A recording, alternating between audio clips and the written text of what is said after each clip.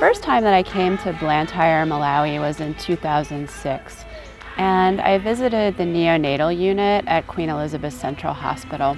And that was a visit that really for me it changed my life because when I walked in that neonatal unit and I saw that there were 60 babies being cared for there with very, very minimal equipment.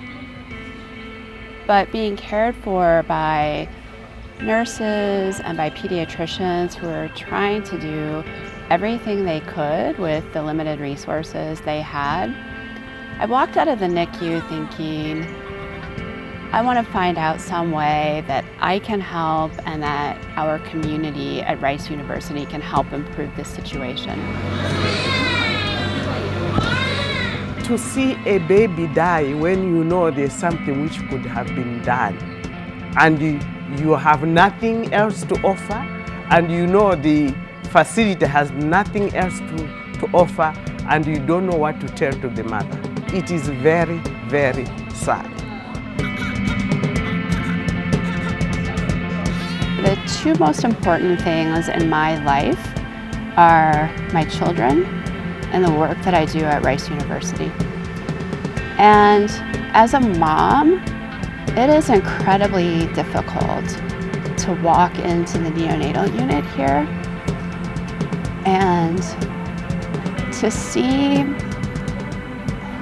babies who are literally struggling for life, to see how difficult it is for them to take every breath.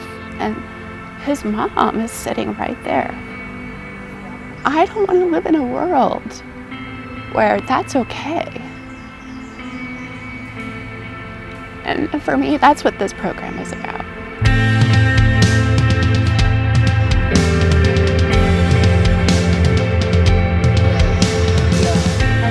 Global health inequities are hard problems. If you want to address hard problems, you need smart students, you need smart faculty, and you need a work ethic that is endless.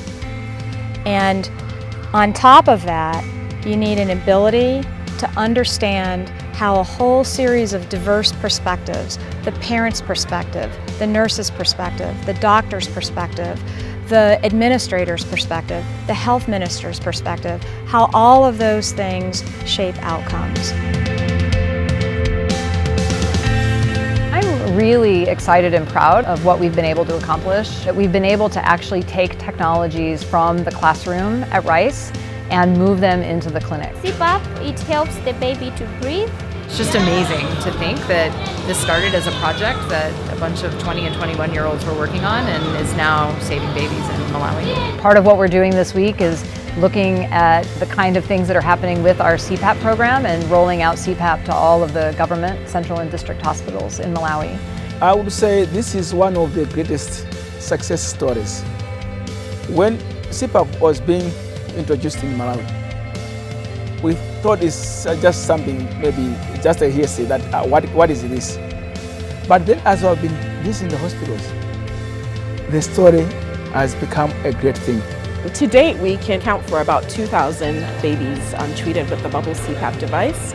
And we project that, you know, many more lives will be touched because the, the project is expanding and we're expanding to other areas of Malawi. And so we hope that touch more lives, not just with CPAP, but with the other technologies that Rice hopes to bring to Malawi.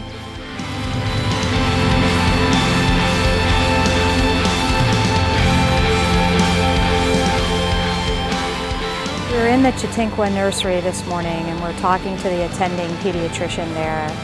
And there are these two babies that are there and the doctor is holding this baby and talking about the fact that the baby came into the nursery, very clearly needed CPAP. They were able to put this baby on CPAP because of the machines, these low-cost technology machines that the RICE team had been able to put into place in the nursery.